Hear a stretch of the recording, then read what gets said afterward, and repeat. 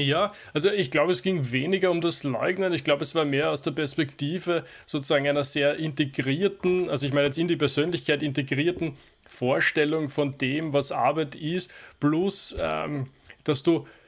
wenn du in der glücklichen Situation bist, dass du die Arbeit für dich sozusagen ein, ein, ein, ein Quell von Lebensenergie ist und du daraus eben deine, dein Wohlbefinden, deine Energie, das habe ich schon gesagt, aber auch andere Sachen ziehst,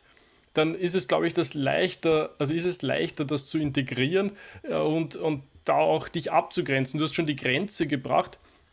Ich glaube, das ist sehr wichtig, für sich da klarer zu werden und zu sagen, wir haben zum Beispiel das Stichwort des äh, also des äh, Shutdown-Journals gebracht. Also wie kann ich meinen Arbeitstag beenden, sodass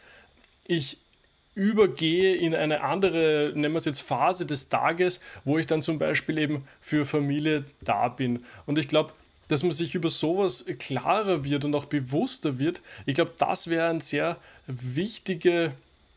äh, eine sehr wichtige Fähigkeit, die man vielleicht eben erst entwickeln muss, wenn man mit dieser Homeoffice-Geschichte äh, noch nicht vertraut war und äh, die einem da, glaube ich, sehr behilflich sein könnte.